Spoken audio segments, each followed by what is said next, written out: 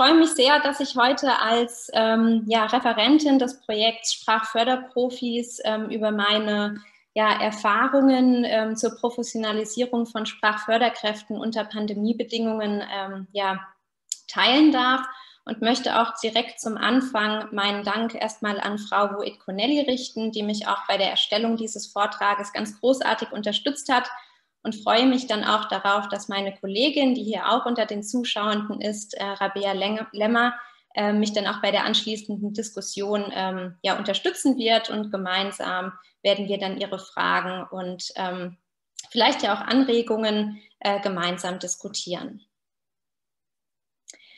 Zum Einstieg in den Vortrag habe ich Ihnen erst einmal ein paar Schlagzeilen mitgebracht, auf die ich ähm, ja so die letzten Monate äh, gestolpert bin und die ich gefunden habe und die möchte ich Ihnen jetzt erst einmal kurz zeigen.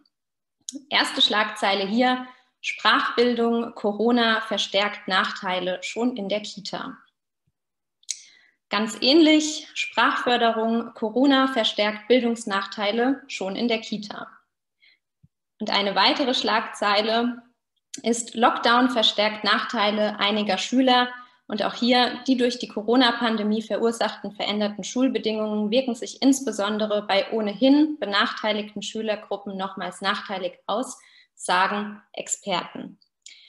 Ja, also was heißt das jetzt genau? Äh, ja, es scheint, dass die im Bildungssystem benachteiligten Kinder also besonders unter der Pandemie zu leiden scheinen. Und dazu gehören eben auch Kinder, die das Deutsche als ihre Zweitsprache erwerben.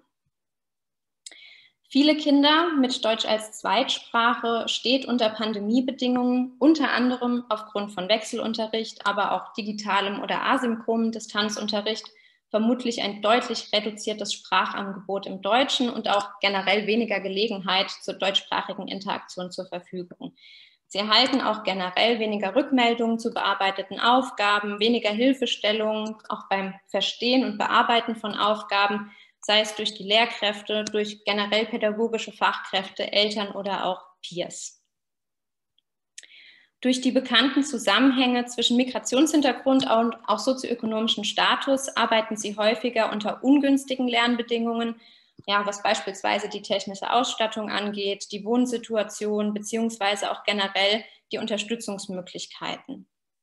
Es ist auch anzunehmen, dass Sprachförderung, und das ist erstmal ganz egal, ob digital oder in Präsenz, derzeit eben nur sehr eingeschränkt angeboten wird, unter anderem aufgrund dessen, dass eben auch ganz, ganz viele andere Dinge nachgeholt werden müssen, die eben aufgrund der Pandemie liegen geblieben sind und dementsprechend Sprachförderung nicht alle förderbedürftigen Kinder erreicht.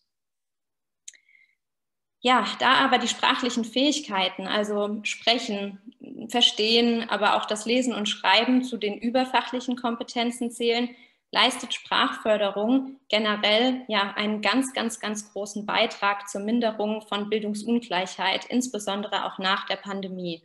Und genau deshalb brauchen wir gut ausgebildete Sprachförderkräfte, die in der Lage sind, den sprachlichen Iststand bei Kindern zu erfassen und ganz gezielt und systematisch die sprachliche Förderung anzugehen. Das heißt, übersetzt, wir brauchen eigentlich Expertinnen für Sprache und genau hier setzt dann auch das Projekt Sprachförderprofis an. Ja, was ist das Ziel meines Vortrages? Ähm, ich habe mir als Ziel heute gesetzt, dass ich Ihnen etwas über die Hintergründe des Projekts, aber auch ähm, über die Konzeption des Projekts Sprachförderprofis ähm, erzählen und berichten möchte. Zum anderen möchte ich mit Ihnen aber auch meine Erfahrungen teilen, die ich während der Umstellung von Präsenzfortbildung auf Online-Fortbildung sammeln konnte. Ja, das Projekt Sprachförderprofis ähm, ist an der Arbeitseinheit für Deutsch als Zweitsprache an der Goethe-Universität Frankfurt unter der Leitung von Professor Dr. Petra Schulz angesiedelt und schließt sich auch an die vielfältigen Aktivitäten ähm, ja, sowie auch an die verschiedenen Forschungsprojekte an, die an der Arbeit, Arbeitseinheit bisher durchgeführt wurden. Das sind hier die grau unterlegten, aber auch die immer noch durchgeführt werden. Wir als Team sind eine Gruppe von Sprachwissenschaftlerinnen und Sprachdidaktikerinnen und forschen auch schon seit ganz, ganz vielen Jahren zum kindlichen Erst- und Zweitspracherwerb sowie zur Sprachdiagnostik und zur Sprachförderung, aber auch zur Professionalisierung von Sprachförderkräften. Genau, und all dieses Wissen, was wir aus unserer Forschung generieren, möchten wir weitergeben. Ja, das machen wir auch schon seit über zehn Jahren. Äh, bieten wir Fortbildungen für pädagogische Fachkräfte aus Kitas und auch aus Grundschulen von unserer Arbeitseinheit an. Ähm, da könnte man sich jetzt auch schon mal so fragen, okay, warum machen wir das eigentlich? Ähm, wir machen das, weil wir ganz einfach davon überzeugt sind, dass unser Wissen über das System Sprache und vor allem aber auch unsere Erkenntnisse darüber, wie Kinder eine oder mehrere Sprachen erwerben, für die Sprachförderung in Kita und Schule sehr, sehr hilfreich sind. Und deshalb sehen wir uns auch bis heute dazu verpflichtet, dieses Wissen an die Praxis weiterzugeben und haben uns da auch durch ähnliche Aktivitäten unserer sprachwissenschaftlichen Kolleginnen, wie zum Beispiel Frau Tracy oder Monika Rothweiler, inspirieren lassen und daraus unseren Ansatz der linguistisch fundierten Sprachförderung entwickelt, den ich Ihnen heute auch noch etwas näher bringen möchte. Ja, bevor ich jetzt im Folgenden auf das Konzept ähm, des Projekts Sprachförderprofis eingehen werde, möchte ich an dieser Stelle noch ähm, ja, ganz kurz darauf hinweisen, dass es sich bei dem Projekt Sprachförderprofis um ein Praxisprojekt handelt, ähm, das in zweierlei Hinsicht wissenschaftlich fundiert ist und auch von uns als SprachwissenschaftlerInnen und Sprachdidaktikerinnen durchgeführt wird. Zum einen orientieren sich die Inhalte der Fortbildungsreihe an neuen Erkenntnissen aus der Linguistik und der Spracherwerbsforschung. Das heißt, die Inhalte, die wir unseren Teilnehmerinnen vermitteln, sind linguistisch fundiert und auch spracherwerbstheoretisch fundiert. Und zum anderen orientiert sich das Format der Fortbildungsreihe an den Ergebnissen aus der Forschung zur Wirksamkeit von Fortbildungsmaßnahmen für Lehrkräfte. Wie ich Ihnen jetzt gleich zeigen werde, haben wir schon erste vielversprechende Evaluationen zur Wirksamkeit unseres Ansatzes der linguistisch fundierten Sprachförderung und auch die bisherige Resonanz unserer Teilnehmerinnen ist sehr gut, aber eine Evaluation des Projektes steht noch aus. Kommen wir nun also zum Konzept des Projekts Sprachförderprofis. Wie bereits erwähnt, ähm, haben wir uns bei der Konzeption der Fortbildungsreihe sowohl an den wissenschaftlichen Erkenntnissen aus der Linguistik und der Spracherwerbsforschung für die Inhalte orientiert und zum anderen an den aktuellen wissenschaftlichen Erkenntnissen zur Wirksamkeit von Lehrkräftefortbildung, was das Format der Fortbildungsreihe angeht. Die erste Säule des Konzepts betrifft also unseren Ansatz der linguistisch fundierten Sprachförderung und die damit einhergehenden Inhalte, die wir eben unseren Teilnehmerinnen vermitteln. Aber was genau bedeutet das jetzt und was genau zeichnet so eine linguistisch fundierte Sprachförderung aus? Ja, was linguistisch fundierte Sprachförderung auszeichnet, haben wir jetzt zunächst einmal in sechs Grundsätzen festgehalten. Grundsatz Nummer eins lautet, Sprachförderung erfolgt systematisch und spezifisch. Ähm, ja, was heißt das Ganze jetzt genau? Ähm, ja, dadurch, dass das System Sprache ein ganz, ganz vielschichtiges, aber auch kleinteiliges System ist, was aber in weiten Teilen wirklich regelgeleitet aufgebaut ist und auch der Spracherwerb in vielen Bereichen auf eine ganz systematische Art und Weise erfolgt, sollte man sich genau diese Systematik von Sprache und Spracherwerb für die Sprachförderung zunutze machen. Grundsatz Nummer zwei lautet, Sprachförderung orientiert sich am natürlichen Verlauf des Spracherwerbs. Das heißt nichts anderes, als dass für diese regelgeleiteten Bereiche der Sprache oder des Spracherwerbs, wie zum Beispiel der Erwerb der Satzstruktur, ähm, konnten schon ganz, ganz viele Studien belegen, dass die Erwerbsschritte für monolingual deutschsprachige Kinder und auch für ja, DATS-Kinder prinzipiell gleich sind. Ähm, und diese Erwerbsschritte, die die Kinder dadurch laufen, die lassen sich durch Sprachförderung letzten Endes beschleunigen, aber sie lassen sich nicht ändern und das ist gut. Denn deshalb kann man wunderbar vorhersagen, welche Fähigkeiten ein Kind als nächstes erwirbt und was man eben folglich als nächstes fördern könnte. Das heißt, ähm, damit Sie sich das vielleicht alles ein bisschen konkreter vorstellen können, wenn ein Kind jetzt beispielsweise bereits Hauptsätze produziert, wie zum Beispiel ich esse einen Apfel, ist der ganz natürliche nächste Erwerbsschritt, dass die Kinder Nebensätze erwerben. Das bedeutet für Sie, Sie könnten in der Förderung darauf achten, dem Kind ganz viel Input zu Nebensätzen zu geben. Zum Beispiel könnten Sie sich als Förderziel setzen, den Erwerb von Nebensätzen mit der Konjunktion weil anzubahnen und dann eben ganz, ganz viele weil-Nebensätze in Ihren Input äh, mit einbringen. Das würde dem Kind auf jeden Fall dazu helfen, dass es eben diese Nebensatzstrukturen durch ihre Unterstützung schneller erwirbt, als es das ohne ihre Unterstützung tun würde. Der nächste Grundsatz ist, Sprachförderung knüpft am Sprachstand des Kindes an. Und das ist eigentlich auch schon so ein bisschen das, was ich eben ähm, mit eingebracht habe. Wenn man nämlich ähm, ja, die Sprachentwicklung eines Kindes gezielt fördern möchte, ähm, um genauso ein schönes Förderziel ähm, ja, zu formulieren und sich zu setzen, ist es ganz wichtig zu wissen, über welche sprachlichen Fähigkeiten ein Kind bereits verfügt, um da dann eben konkret anknüpfen zu können. Ein weiterer Grundsatz ist, dass Sprachförderung ähm, ja, am Kind orientiert erfolgt. Ähm, und das ist natürlich etwas, was unsere Sprachförderkräfte und auch unsere Teilnehmerinnen immer am besten wissen. Es geht nämlich letzten Endes darum, dass die Themen und auch die Aktivitäten, die man in der Sprachförderung nutzt, eben zu den Interessen des Kindes passen sollten. Und da haben unsere Teilnehmerinnen und ähm, ich bin mir sicher auch alle Sprachförderkräfte, die ich noch nicht kennengelernt habe, ganz wunderbare Ideen, was man da umsetzen kann. Der Grundsatz Nummer fünf ist, Sprachförderung nutzt vertraute pädagogische Settings. Ähm, das bedeutet eigentlich auch nichts anderes, als dass eine linguistisch fundierte Sprachförderung prinzipiell in jeder Situation genutzt werden kann oder umgesetzt werden kann, indem man letzten Endes mit Kindern ins Gespräch kommt und mit Kindern kommuniziert.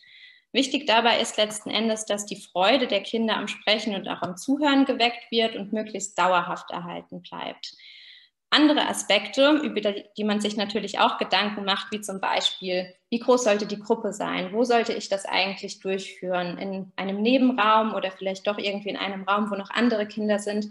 Welche Materialien soll ich eigentlich letzten Endes verwenden und was sollte der thematische Rahmen sein? Sind aus unserer Perspektive eigentlich eher sekundäre Aspekte. Auch deshalb, weil wir sehen, dass in der Praxis eben diese ganz vielen verschiedenen Formen wunderbar miteinander kombiniert werden können und auch deshalb so eine Entscheidung zwischen additiv und auch alltagsintegriert gar nicht unbedingt erforderlich ist. Kommen wir zu unserem letzten Grundsatz, der, finde ich, das Ganze nochmal schön zusammenfasst. Spracherwerb braucht Zeit und Sprachförderung ganz viel Geduld. Ähm, natürlich sind Kinder Meister im Sprachenlernen, das wissen wir alle. Ich finde das immer wieder wirklich erstaunlich, wie schnell Kinder tatsächlich eine Sprache erwerben. Ähm, das wünscht man sich doch manchmal wirklich selbst, dass es noch so schnell geht, wenn man eine Fremdsprache erwirbt. Aber trotzdem, Kinder brauchen mehrere Jahre, bis sie eine Sprache erworben haben und vor allem DATS-Kinder brauchen deshalb auch von Beginn an und eigentlich auch die ganze Schulzeit hindurch Sprachförderung. Und die sollte eben im besten Fall auch ganz systematisch am Kind oder am Sprachstand des Kindes anknüpfen. Ja, ähm, wir haben uns natürlich dafür interessiert, wieso die Einschätzung unserer Teilnehmerinnen zu der linguistisch fundierten Sprachförderung sind und haben unsere Teilnehmerinnen auch zum Ansatz unserer Fortbildung gefragt. Ähm, jeweils am Ende einer Fortbildungsreihe haben wir sie unter anderem gefragt, ähm, ja, wie sie glauben, wie sich die Fortbildung auf den Ausbau ihres Wissens zu den Themen Sprache, Spracherwerb, Sprachdiagnostik und auch Sprachförderung ähm, ausgewirkt hat. Und ähm, ja, da kann man hier schön an der Grafik erkennen, dass ähm, die pädagogischen Fachkräfte zumindest von ihrer Einschätzung her ähm, ja, von unserer Fortbildung wirklich profitieren können und ihren Wissensausbau doch recht hoch einschätzen. Ja, das Ganze haben wir auch hinsichtlich der Auswirkungen der Fortbildung auf die Kompetenzen Sprachförderung zu planen und umzusetzen ähm, erfragt. Und auch hier haben wir recht positive Reaktionen von unseren Teilnehmerinnen bekommen, wie man auch hier anhand der Grafik sehen kann. Auch hier konnten die pädagogischen Fachkräfte wieder die Aussagen wie zum Beispiel in der Planung von Sprachförderung fühle ich mich nun sicherer oder in der Umsetzung von Sprachförderung fühle ich mich nun sicherer auch wieder zwischen 0 trifft nicht zu und 4 trifft voll zu ähm, bewerten. Und ähm, ja, ich glaube, hier können wir auch ganz zufrieden sein mit der Resonanz. Ähm, was uns aber natürlich besonders freut, ist auch hier ähm, diese Säule, ich habe vor, die Fortbildungsinhalte in meinen Alltag zu integrieren, dass hier auch wirklich die meisten Teilnehmerinnen ähm, gesagt haben, ja, das ist sinnvoll, ich ähm, habe jetzt irgendwie was an die Hand bekommen, mit dem ich was anfangen kann und ich möchte das Ganze auch nachhaltig in meinen Arbeitsalltag integrieren. Ja, wie bereits angekündigt, ähm, am Anfang zeigt auch noch eine recht aktuelle Studie, ähm, die sich mit der übergeordneten Fragestellung auseinandergesetzt hat, ob Fortbildungsmaßnahmen zu linguistisch fundierter Sprachförderung wirksam sind, dass der Ansatz also unser Ansatz eben auch wirklich wissenschaftlich auf festen Füßen steht. Ziel dieser Untersuchung war es, herauszufinden, welche Wirkungen eine Fortbildungsmaßnahme zu linguistisch fundierter Sprachförderung zum einen auf die Sprachförderkompetenzen von pädagogischen Fachkräften hat und zum anderen auch auf die Sprachfähigkeiten der sprachlich geförderten Kinder. Und ja, als Ergebnis der Untersuchung kam raus, dass das Fachwissen der pädagogischen Fachkräfte im Bereich Sprache durch eine gezielte Fortbildungsmaßnahme, also durch eine Fortbildungsmaßnahme der linguistisch fundierten Sprachförderung, substanziell gesteigert werden konnte. Und ähm, aber auch, dass die sprachliche Leistung der Kinder ähm, auch in einem Kernbereich des Deutschen, und zwar der Satzstruktur, innerhalb von kürzester Zeit ähm, sich verbessert haben und sich auch tatsächlich signifikant stärker verbessert haben, ähm, ja im Vergleich zu einer Kontrollgruppe, die eben nicht von äh, den Fachkräften fortgebildet wurden, die an dieser linguistisch fundierten Fortbildung dann teilgenommen haben, zumindest davor. Okay, kommen wir nun etwas genauer auf das Projekt Sprachförderprofis zu sprechen. Ähm, bis dato haben wir, das heißt meine Kollegin äh, Rabea Lemmer und ich, seit Mai 2017 knapp 500 pädagogische Fachkräfte in ganz Hessen ausgebildet und haben zusätzlich noch einmal mehr als 270 pädagogische Fachkräfte durch weitere Angebote der Sprachförderprofis, wie zum Beispiel unsere Coachings, erreicht. Ja, und wenn Sie später dann ähm, noch mal ein bisschen weiter stöbern möchten und mehr über das Projekt erfahren möchten, können Sie das gerne auch ähm, ja, auf unserer Homepage tun oder eben auf der Projektseite des IDEA-Zentrums. Genau, vielleicht auch noch kurz zu dem Hintergrund und auch zu unseren Förderern. Die Sprachförderprofis sind ein Projekt der Goethe-Universität und des IDEA-Zentrums und werden vom Stadtschulamt Frankfurt, der Stiftung Polytechnischen Gesellschaft sowie dem Hessischen Kultusministerium und der Hessischen Lehrkräfteakademie gefördert. Und wie Sie sehen, befinden wir uns derzeit in der Mitte der zweiten Förderphase, die noch bis Ende des Jahres 2022 läuft. Genau, durch die Kooperation von Goethe-Uni, IDEA, Stadtschulamt Frankfurt und Stiftung Polytechnische Gesellschaft haben wir hier einen ganz, ganz klaren Frankfurt-Bezug. Ähm, aber die Professionalisierung von Sprachförderkräften wird auch in Kooperation mit dem Hessischen Kultusministerium und der Hessischen Lehrkräfteakademie auf ganz Hessen ausgeweitet.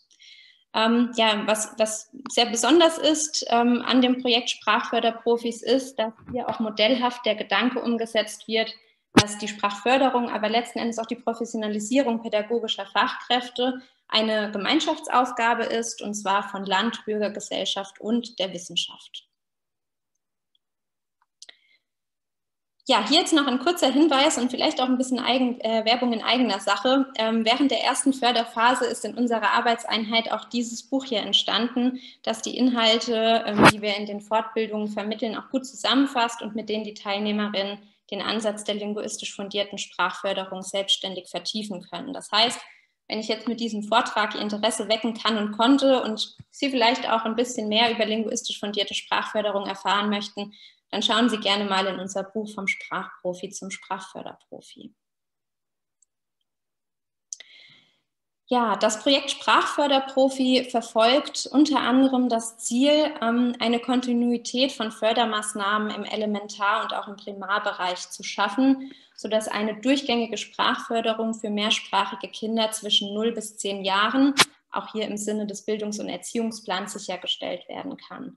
Deshalb werden in dem Projekt Sprachförderprofis auch pädagogische Fachkräfte aus Kitas und aus Grundschulen gemeinsam und systematisch zu linguistisch fundierter Sprachförderung fortgebildet und darin unterstützt, diesen Ansatz ganz flexibel sowohl in Großgruppen als auch in Kleingruppen für Kinder mit besonderem Sprachförderbedarf, also insbesondere Kinder mit DATS, umzusetzen. Ja, unser Slogan ist vom Sprachprofi zum Sprachförderprofi. Aber ähm, ja, was bedeutet das eigentlich und ähm, was machen wir denn da? Ja, durch die Fortbildungsmaßnahmen begleiten wir sozusagen unsere Teilnehmerinnen vom Sprachprofi zum Sprachförderprofi. Ähm, ja, Sie können sich das vorstellen. Sie sind in Ihrer Erstsprache ein Sprachprofi. Denn ich bin mir ganz, ganz sicher, dass Sie alle intuitiv ganz genau wissen, wann ein Satz grammatikalisch richtig ist oder wann er falsch ist. Oder wenn Sie ein Wort hören, bin ich mir auch ziemlich sicher, dass Sie relativ schnell darüber entscheiden können, okay, gehört das jetzt zu meiner Erstsprache oder eben nicht. Und wenn wir uns jetzt einmal diese wirklich sehr niedlichen und kreativen Äußerungen hier anschauen, die kindlichen Äußerungen anschauen, bin ich mir auch sehr sicher, dass viele von Ihnen zunächst einmal die Stirn runzeln werden und sich fragen, hm, ektische Zahnbürste, also irgendwie, da fehlt doch was. Oder ein Stift mit Flügeln, ähm, nee, sowas gibt es doch eigentlich gar nicht und wenn nur im Fernsehen. Ähm, und da kann ich sagen, ganz genau, Sie haben hier intuitiv erkannt, dass diese Äußerungen eben noch nicht zielsprachlich sind. Also nicht so geäußert wurden, wie es zum Beispiel erwachsene Erstsprachlernerinnen des Deutschen tun würden.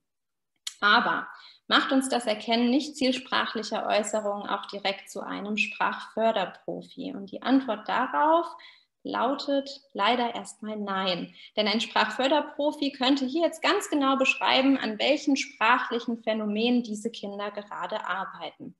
Schauen wir uns mal äh, ja, diesen eingerahmten, dieses eingerahmte Beispiel etwas genauer an. Was können wir hier entdecken? Ganz schön viel. Wir sehen, dass das Kind bereits weiß, wie man eine Frage bildet. Und in diesem speziellen Fall ist es eine Warum-Frage. Es hat das Fragewort Warum an den Anfang des Satzes gestellt und hat auch mit dieser Frage versucht, irgendwie einen Zusammenhang zwischen Auto, Benzin und Fahren herzustellen. Also wir wissen auf jeden Fall, was das Kind von uns möchte. Was dem Kind jetzt noch nicht so gut gelingt, ist zum Beispiel, dass das Verb noch nicht an der richtigen Stelle in der Frage steht. Ja? Nämlich an der zweiten Position sollte ja hier eigentlich das Verb stehen und dass wir auch noch keine Änderungen an dem Verb erkennen können. Denn die Frage würde ja vermutlich lauten, warum fährt das Auto überhaupt mit Benzin? Das heißt, ein Sprachförderprofi weiß, wie das System Sprache aufgebaut ist und auch welche Komplexität dahinter steckt. Ein Sprachförderprofi weiß auch, wie sich Kinder ihre Erstsprachen bzw. Zweitsprachen aneignen, wie der Sprachstand von ein- und mehrsprachigen Kindern adäquat erfasst werden kann und wie Sprachförderung lerner- und auch zielorientierend geplant, umgesetzt und reflektiert wird. Und zudem nimmt ein Sprachförderprofi auch stets eine kompetenzorientierte Perspektive auf den Spracherwerb ein. Wie schon zu Beginn des Vortrags gesagt, brauchen wir Expertinnen für Sprache, also Sprachförderprofis. Und gerade jetzt ist es unabdingbar, wirklich gut ausgebildete Sprachförderkräfte zu haben, die eine systematische und auch gezielte Sprachförderung durchführen können, um die Nachteile von Kindern mit besonderem Sprachförderbedarf aufzufangen und auch nicht noch größer werden zu lassen. Ja, kommen wir nun zur zweiten Säule unseres Konzepts, nämlich dem Fortbildungsformat. Bei der Konzeption der Fortbildungsreihe haben wir uns, wie bereits gesagt, an aktuellen wissenschaftlichen Erkenntnissen zur Wirksamkeit von Lehrkräftefortbildung orientiert. Aber was genau zeichnet denn jetzt gute Fortbildungen aus? Eine Erkenntnis aus der Forschung zur Wirksamkeit von Lehrkräftefortbildung ist, dass Fortbildungen dann besonders wirksam sind, wenn die Vermittlung wissenschaftlich fundierter Inhalte im Fokus der Fortbildung steht. Und ich denke, das habe ich Ihnen jetzt schon ganz gut vermittelt, dass insbesondere unsere, unsere Inhalte hier linguistisch und spracherwerbstheoretisch fundiert sind. Außerdem haben sich Fortbildungen dann als besonders wirksam gezeigt, wenn pädagogische Fachkräfte über einen längeren Zeitraum begleitet wurden und auch ausreichend Zeit für die Vor- und Nachbereitung der Fortbildungsinhalte sowie zur Reflexion derselben zur Verfügung hatten. Ein weiteres Merkmal wirksamer Fortbildungen ist auch eine ganz, ganz enge Verzahnung von Theorie und Praxis, wie zum Beispiel durch die Implementierung von Erprobungsphasen, Feedback und oder Coachings. Des Weiteren haben sich Fortbildungen auch dann als besonders wirksam gezeigt, wenn die Praxiserfahrung, aber auch Praxisbeispiele der Teilnehmerinnen systematisch in die Fortbildung mit einbezogen wurden, wenn ausreichend Zeit zur Zusammenarbeit und zum Austausch mit Kolleginnen zur Verfügung steht und auch wenn die Referentinnen wissenschaftlich qualifiziert sind. Das heißt auch tatsächlich Unimitarbeiterinnen sind, also wissenschaftliche Mitarbeiterinnen aus einer Universität und zu guter Letzt trägt auch eine Kommunikation auf Augenhöhe zwischen Referentinnen, aber auch also zwischen Referentinnen und Teilnehmerinnen, aber auch unter den Teilnehmerinnen zu einer großen Wirksamkeit von Fortbildungen bei.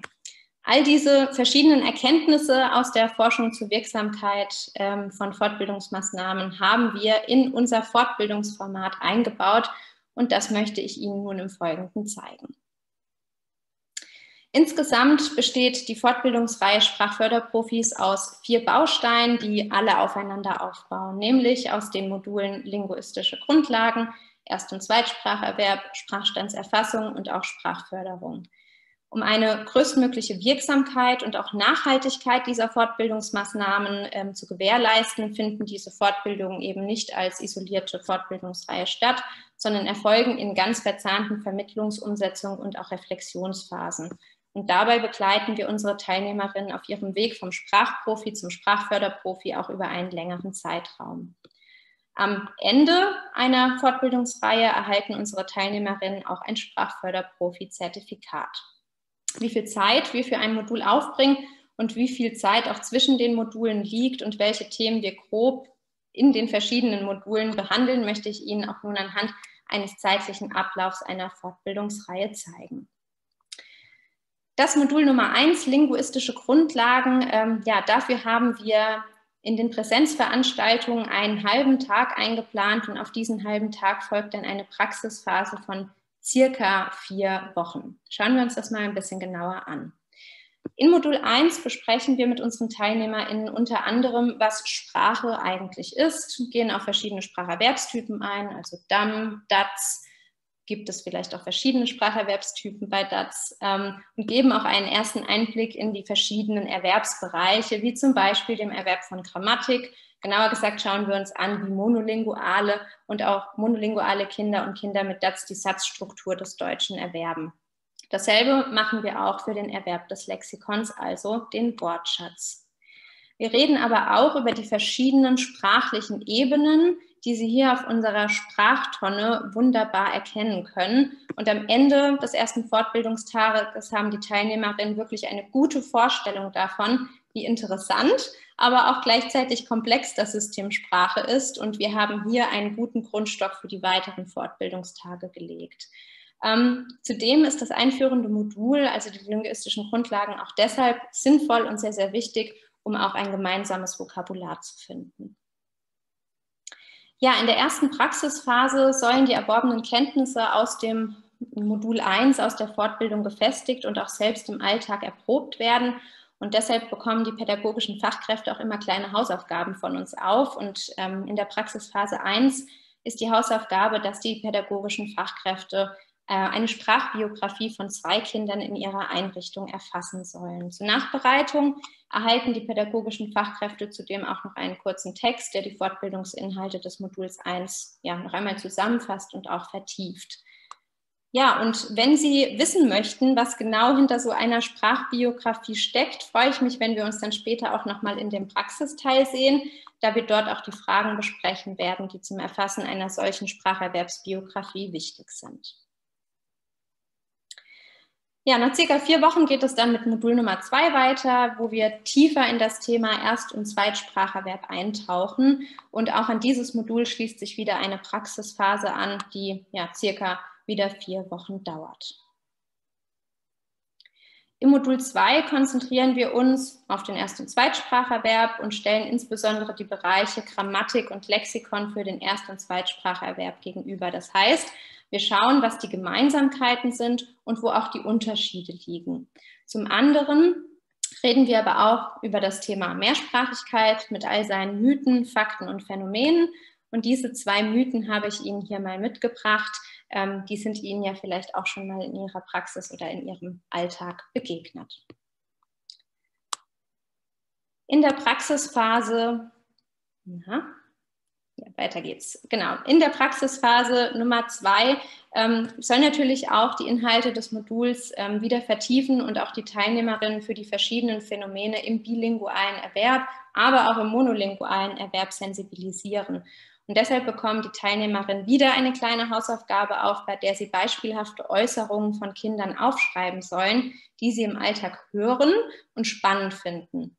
Und das ist dann natürlich auch etwas, was gerade für uns Referentinnen immer wieder schön zu sehen ist, ähm, über welche sprachlichen Äußerungen sich unsere Teilnehmerinnen äh, Gedanken machen, worüber sie stolpern. Ähm, und genau diese Äußerungen sind dann auch wirklich wunderbare Anknüpfungspunkte für die weiteren Module und häufig auch eine ganz, ganz wunderbare Diskussionsgrundlage.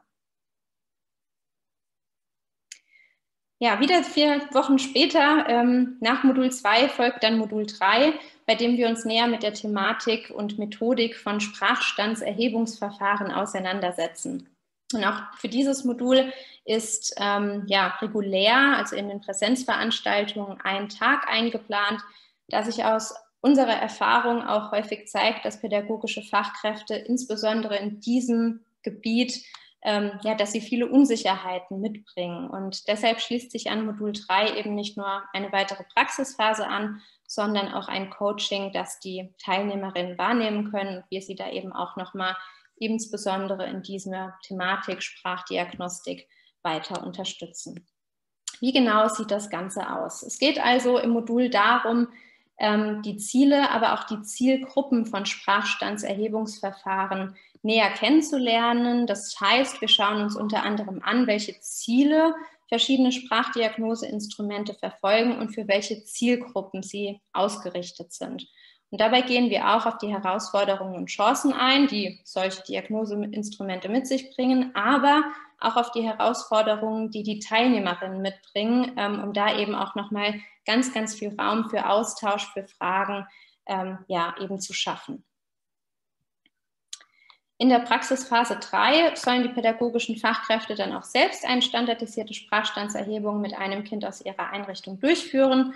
Ähm, als Beispiel habe ich hier jetzt auch mal Lise Datz mitgebracht. Ähm, das kennen sicherlich schon einige von Ihnen. Ich habe vorhin schon mal in die Teilnehmerinnenliste geschaut und habe auch schon mit Freude festgestellt, dass einige ehemalige Teilnehmerinnen heute dabei sind. Ähm, genau, Lise Datz ist deshalb auch ähm, ja, besonders bekannt, da es das erste deutschsprachige Instrument ist, das eben getrennte Normen für DATS-Kinder vorweist und es eben auch die Kontaktdauer zum Deutschen berücksichtigt und auch das Alter bei Erwerbsbeginn ähm, ja hier für die DATS-Kinder berücksichtigt wird. Ja, wie gesagt, äh, nach Modul 3 gibt es eben nicht nur die Praxisphase, sondern wir bieten hier auch noch unsere Coachings an. Das Ziel unserer Coachings ist ja, die pädagogische Professionalität unserer Teilnehmerinnen zu steigern.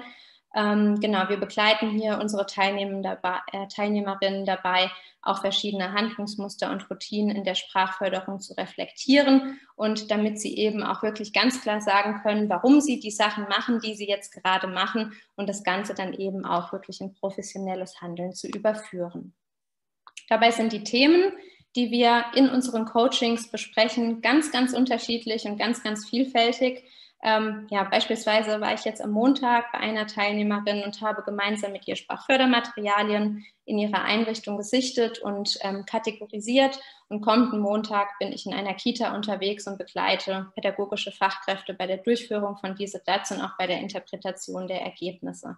Das heißt, ähm, wir unterstützen die Teilnehmerinnen wirklich auf ganz, ganz unterschiedliche Art und Weise in unseren Coachings, zum Beispiel bei der Vertiefung der Fortbildungsinhalte bei Durchführung und Interpretation von Sprachstandserhebungen, bei der Auswahl und Analyse von Sprachfördermaterialien, aber auch bei der Planung, Durchführung und Reflexion von Fördersequenzen.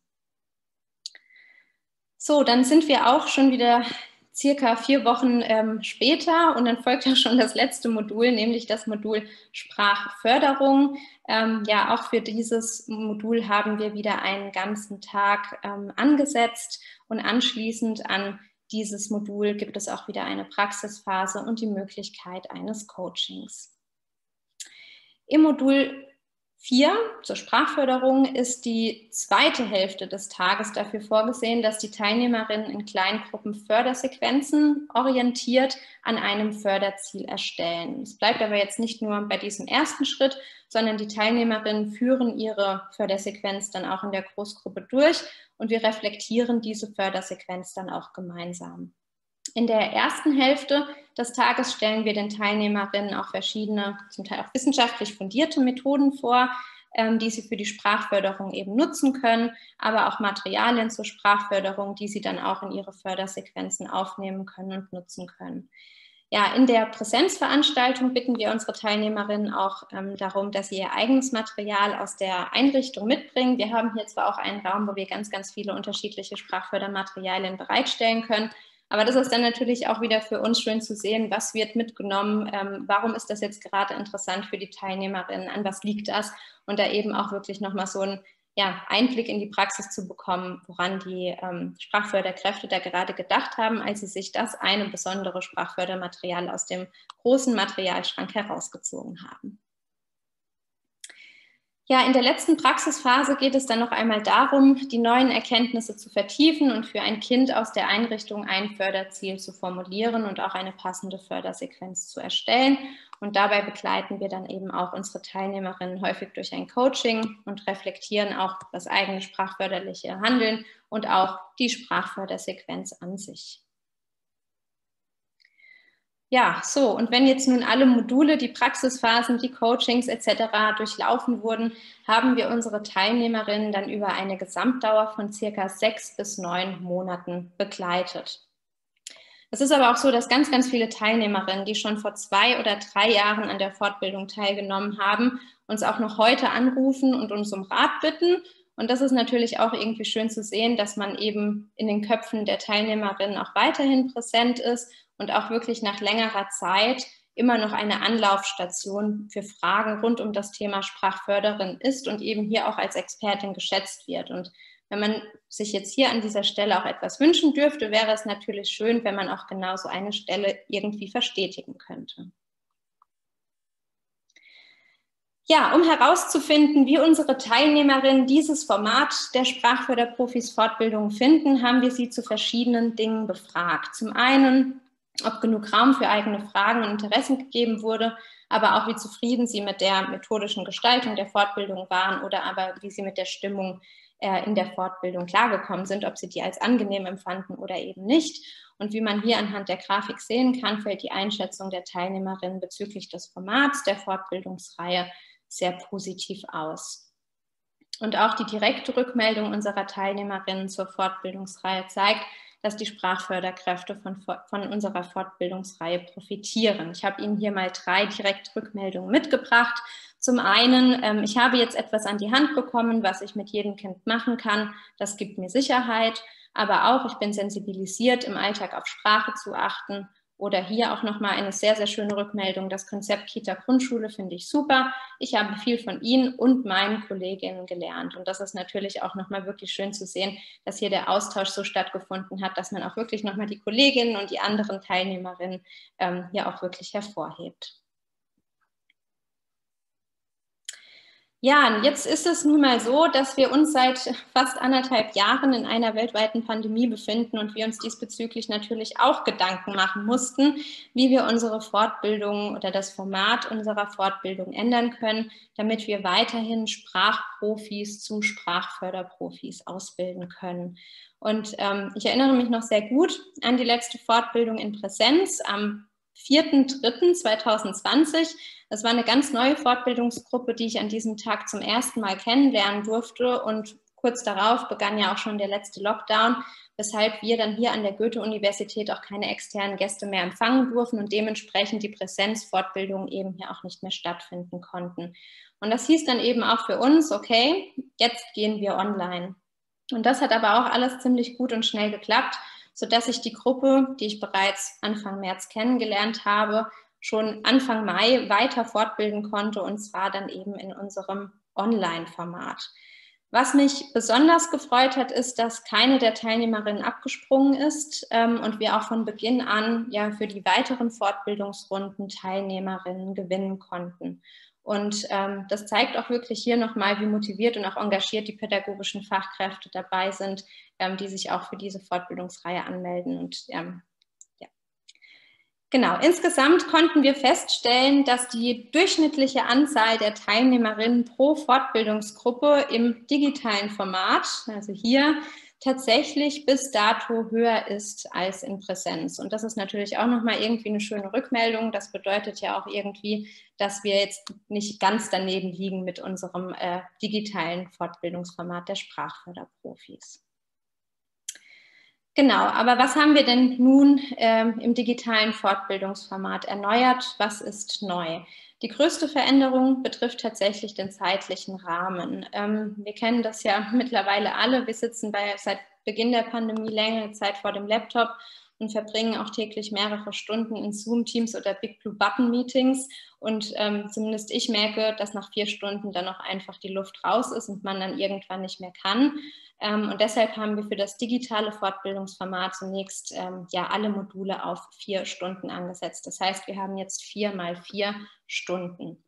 Da dadurch natürlich die reine Working Time etwas geringer ist, bekommen die Teilnehmerinnen zur Vorbereitung jeweils einen ganz einen kurzen Text und auch ein Handout bereits eine Woche vor Fortbildungsbeginn zugeschickt. Sie erinnern sich daran, die Texte gab es in der Präsenzveranstaltung immer als Nachbereitung.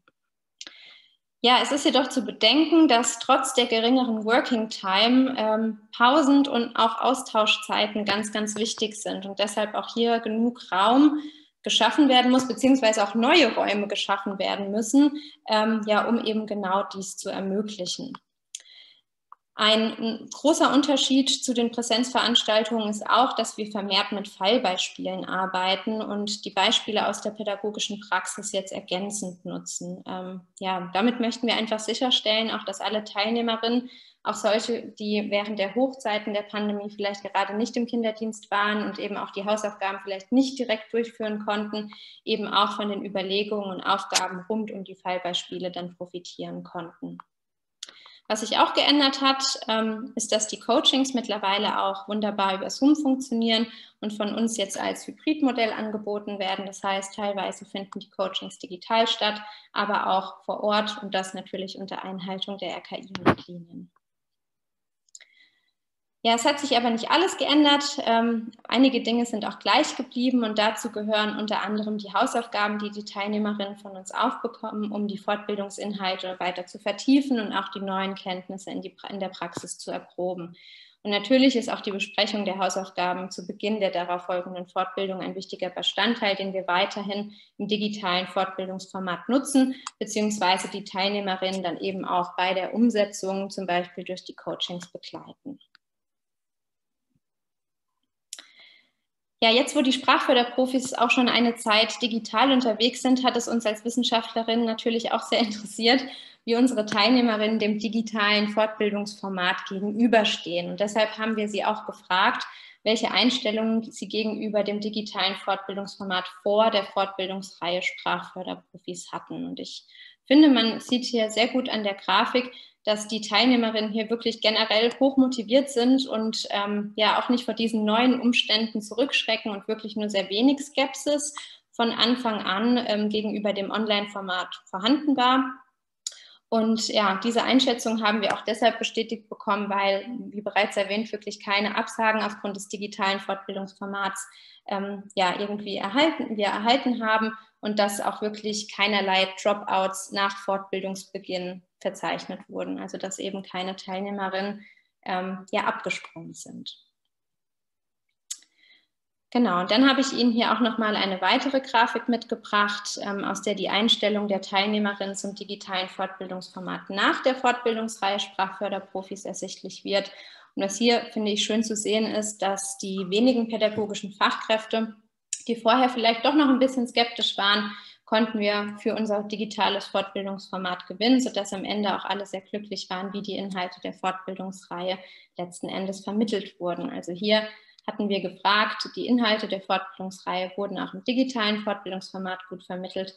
Und hier haben wir jetzt tatsächlich ähm, drei Viertel der Teilnehmerinnen, die hier auch trifft voll zu, ähm, bewertet haben und ein Viertel ungefähr der Teilnehmerinnen, die trifft eher zu, bewertet haben und keine Teilnehmerinnen mehr, die ähm, hier eine ja, negative Rea oder negativere Reaktion geäußert haben. Ähm, was uns besonders wichtig war bei diesem digitalen Fortbildungsformat ist, dass wir eben diese Praxis-Theorie-Verzahnung weiterhin im Blick haben.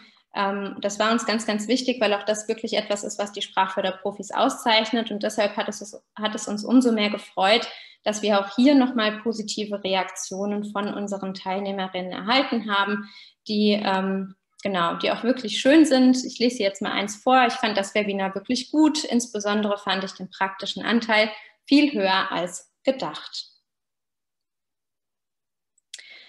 Okay, zum Schluss möchte ich auch noch kurz auf unsere Lessons Learned eingehen, also die Sprachförderprofis online Ähm, ja, wie immer im Leben gibt es positive und negative Aspekte. Ich möchte aber zunächst erstmal auf die positiven Unterschiede eingehen, die das neue Format im Vergleich zur Präsenzveranstaltung mit sich bringt. Ähm, zum einen ist es natürlich eine Zeitersparnis. Ich habe Ihnen am Anfang gezeigt, dass meine Kollegin Frau Lemmer und ich ähm, in ganz Hessen unterwegs sind, um Lehrkräfte ähm, fortzubilden. Ähm, hier ist natürlich die Zeitersparnis, dass wir zum Beispiel nicht mehr nach Kassel fahren, nach Fulda fahren, nach Weilburg fahren. Wir haben noch ganz viele andere Anfahrtsorte. Ähm, das ist für uns natürlich schön, aber es ist natürlich auch für die Teilnehmerinnen eine Zeitersparnis, da sie ja auch nicht mehr zum Teil zu uns hier an die Uni kommen müssen. Ein weiterer Punkt, der uns von den Teilnehmerinnen auch zurückgemeldet wurde, ist, dass diese zeitlich flexible, insbesondere Vorbereitung auch sehr, sehr gut ist, dass dadurch eben auch mit anderen Aufgaben, die generell auch ähm, auftreten, ähm, sehr, sehr gut zu ja, vereinbaren ist. Und ähm, da war meine Erfahrung, die ich bisher sammeln konnte oder eben auch die Rückmeldung vieler Teilnehmerinnen, dass dieses Online-Format auch recht gut mit Kinderbetreuung zu vereinbaren ist. Ich glaube, da streiten sich auch die Geister, aber das ist jetzt so ein bisschen ähm, die Erfahrung, die ich bisher machen konnte. Es ist dann natürlich auch so, dass ortsverteilte Gruppen gemeinsam fortgebildet werden können. Das ähm, ist auch wunderbar. Und ähm, es ist auch ein kleinerer, geringerer organisatorischer Aufwand, was zum Beispiel den Fortbildungsraum betrifft. Wenn wir hier in Präsenz die Fortbildung hatten, haben wir natürlich darauf geachtet, dass der Fortbildungsraum gut aussah. Wir haben Kaffee bereitgestellt, es gab Kekse, es gab Obst. Ähm, das sind alles Sachen, ähm, die natürlich auch vorher und nachher Zeit beanspruchen. Ähm, und dementsprechend haben wir hier auch einen geringeren organisatorischen Aufwand in Bezug auf den Fortbildungsraum verbucht. Ja, kommen wir zu den Nachteilen oder zu den weniger positiven Aspekten der erste Punkt fehlt mir wirklich besonders eben diese Tür- und Angelgespräche, die man sonst hat. Hier, Frau Lausecker, ich hätte dann doch noch mal eine Frage. Hätten Sie in der Pause kurz Zeit für mich? Aber eben auch die Gespräche mit der Sitznachbarin oder dem Sitznachbar, wo man vielleicht doch noch mal irgendwie nachfragt, hm, hast du das jetzt verstanden oder nicht? Das sind eben wirklich diese Gespräche, die ähm, fehlen und die aus meiner Erfahrung raus auch nicht unbedingt durch ähm, ja, Breakout-Sessions oder sonstiges wirklich ähm, aufgeholt werden können. Und ähm, das ist für mich auch so mit der größte Nachteil tatsächlich. Und zusätzlich auch, dass der persönliche Kontakt ähm, ja auch fehlt. Also generell der soziale Kontakt. Ähm, man lernt die Teilnehmerinnen zwar schon gut kennen, aber natürlich nochmal auf eine ganz andere Art und Weise und eben doch viel distanzierter als in den Präsenzformaten. Ähm, ja, das ist jetzt so ein Punkt, der insbesondere auch zu Beginn ähm, unseres digitalen Fortbildungsformates zu verzeichnen war, dass eben nicht alle TeilnehmerInnen mit Kommunikationssoftware vertraut sind und dass hier dann eben auch nochmal ein bisschen Zeit ähm, ja, dafür genutzt werden muss, um verschiedene Dinge zu erklären.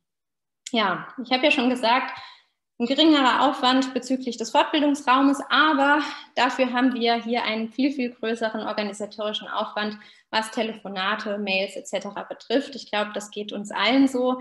Ähm, ich würde schätzen, ich habe fünfmal so viele Mails und telefoniere bestimmt fünfmal so viel wie davor, da eben dann genau diese kleinen Fragen, die auch in den Tür- und Angelgesprächen normalerweise schnell beantwortet werden können, dann eben über diesen Weg dann eingehen.